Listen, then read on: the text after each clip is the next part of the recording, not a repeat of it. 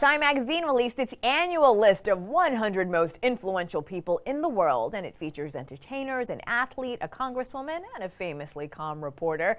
Of course, Time had to honor the entertainers that the world just can't seem to get enough of. Taylor Swift and Dwayne The Rock Johnson are two of the six covers. Sandra oh is the third. She had a fantastic year, winning a Golden Globe for her role in Killing Eve and becoming the first Asian woman to host the awards ceremony. It was also a big year for Nancy Pelosi Pelosi, once again elected Speaker of the House and is leading the Democrats' opposition of President Trump. Egyptian star striker Mohamed Salah also got a nod not only for being one of the only Muslim soccer players in England's Premier League, but for calling on people in the Muslim world to treat women with more respect.